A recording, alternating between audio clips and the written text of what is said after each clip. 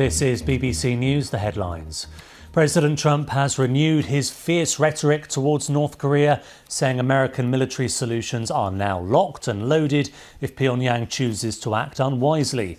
Mr. Trump said he hoped President Kim Jong un understood the gravity of the situation. There have been reports of protests in Kenya after it was announced that the president, Uhuru Kenyatta, had been re elected. The Electoral Commission says he has more than a million votes ahead of his rival, but the opposition has complained of fraud. At least 37 people have been killed in Egypt in a collision involving two passenger trains. About 120 others were injured.